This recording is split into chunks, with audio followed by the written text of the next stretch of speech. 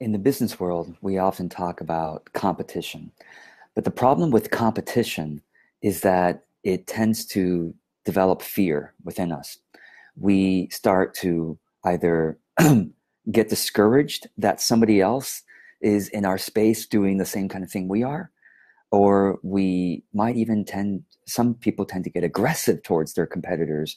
They might um, purposely talk bad about their competitors or uh, try to steal uh, the competitors' customers or whatever it may be. So instead of competition, why don't we start to use the term niche mate? Okay, that's what that's my recommendation. So competitor suggests aggression, niche mate suggests collaboration. So the truth about it is that somebody who is doing the same thing that you are, think about this.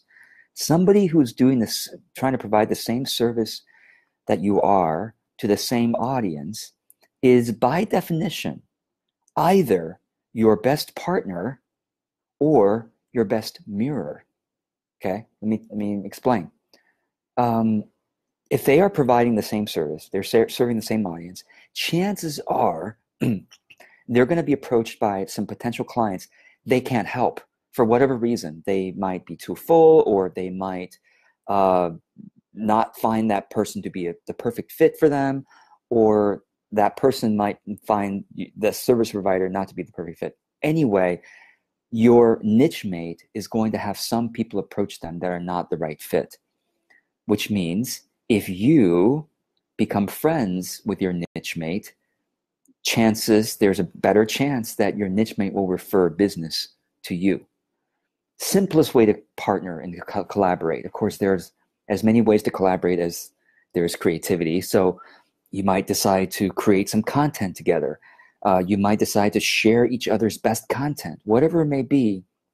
when you collaborate, everybody wins because your your partner's audience in any audience right? In any audience, there are people who might follow that person's content, but might not find that person's offerings to be to be exactly right. But when that person introduces you and your content, the the person who previously previously didn't bought might look at your offerings and say, "Wow, this person is a much better fit for me." Energy wise, style, personality, uh, timing, whatever it may be. Okay, so in any audience, there are people who are not being served by offerings that if they only partner, they could serve those people. Okay, similarly, in your audience, you know, same thing. In your audience, I don't care if your audience is a million or if it's 10 people. if your audience is only 10 people, two of them aren't going to buy your thing ever, let's say. Maybe it's five or eight. But let's say two of them will never buy your thing out of 10 because it's just the timing's not right or your personality is not right for them or whatever reason. But then if you introduce your partner, your niche mate, your so-called competitor, but I'm gonna call it niche mate, to your audience, those two people might say, wow, that was the right person for me now. Thank you. So everybody wins, right? Your partner wins. The person who used who weren't served, now they can win. And you win by being the nice guy, the nice gal. Your whole audience is, wow, you are really abundance minded you're not you're not afraid okay you're abundance minded and you're willing to introduce other people to us that may be a better fit for us amazing. You're amazing. Okay?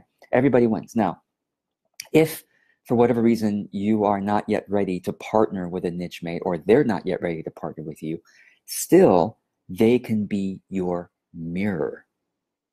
All right. If i'm trying to adjust how i look right am i wearing the right thing? How's my hair, right?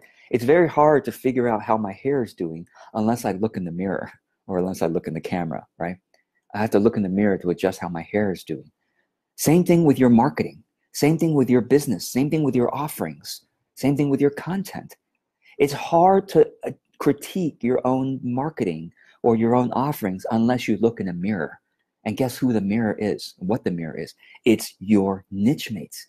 Your niche mates are your best mirror. If they are doing the same thing for the same audience that you are, or they're doing a similar thing for a similar audience, then by definition, they are a mirror. You can look at how they're doing things and say, I really like that they're doing it this way. I never thought of doing it that way myself, but now that I see them doing it, in other words, it's much easier to, get, to critique somebody else who's similar to you than it is to critique yourself. You see? Because it's hard, again, like I said, you can't see your own actions. You're too close to your own actions. You think, you either, people either think everything they do is great or that everything they do is terrible. It's not, it's not quite right. But when you, when you look at a mirror, when you look at somebody else who's doing very, something very similar, it's easy to say, you know what, they actually, they, they're, they're, they're doing a good job there.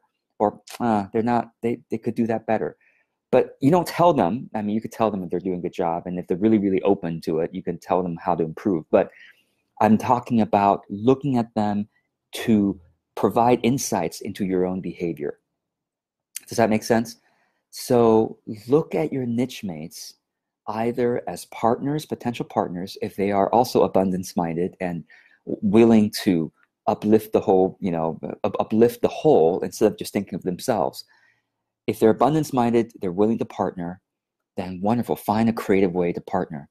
If they are not willing to partner or you're not ready to do that kind of thing, just look at them, study them as a mirror, okay, so that you can improve your own marketing, see what they're doing that you don't want to do, then okay, fine, I'm going to make sure I don't do it. See what they're doing that you really like doing, then okay, well, then do more of that. Because remember the golden rule do unto others as you want done unto you, right? your niche mates are the perfect application of the golden rule. You look at how someone else is doing it, and and that your your own judgments of them are really your own judgments of how you can do it better. Your own praise of them is really how how you can also uh, do well in that area, or maybe you are doing well in that area. So I hope this is helpful. And um, one thing I want I, I would therefore encourage you to do, if you would like to, is to comment underneath this video and introduce um, whom do you serve? What kind of client is your ideal client? What do you do for them? Okay. And how might, and, and if you want to, those, those two are the basic questions. If you want to take it one step further, you, you can say how you might like to partner. Um, but maybe it's too early for that. Just talk about who, who is your ideal client and what do you do for them? And now I know these things change over time but just what do you know about your ideal client right now and what do you think you want to do for them okay if you're just kind of in the early stages of figuring that out we're always changing that but just just what what you know right now and and if you see somebody else's comment who is a niche mate of yours okay or if you know a friend who is a niche mate for them uh, maybe privately message that person and say hey i really um, appreciate your introduction i also do the same thing or i also serve the same audience and maybe there's a way for us to learn from each other or mutually support each other or creatively partner in some way that's a win for everybody. You know, so I you know invite you to start practicing this idea of niche mates um, right here in the comments thread if you if you wish to. I hope this is helpful. Let me know if uh, if this makes sense. Uh, essentially, this is a reframing of competition into something much more beneficial and uplifting for everybody. And I think much more true of how the world works. Um, one more thing I forgot to say is that competition, the the idea, kind of um, dehumanizes that person, right? If you think of a competitor, you think of someone who's buff and has a sword, and like you're in the gladiator ring, like fighting to the death, right? But a niche mate has this idea that well, they too have needs, they too have insecurities, they have they also have their own geniuses like I do, and they have a family to support, or they have themselves to support, at the least. They too want to do good for the world. No, really, your niche mates aren't trying to like destroy the world. They're trying to uplift the world, trying to do good for the world in the way that they know how. So they, just like you, okay, how you think of yourself? You're worth supporting, right? You're you're worth having opportunities. Well, so are so do they.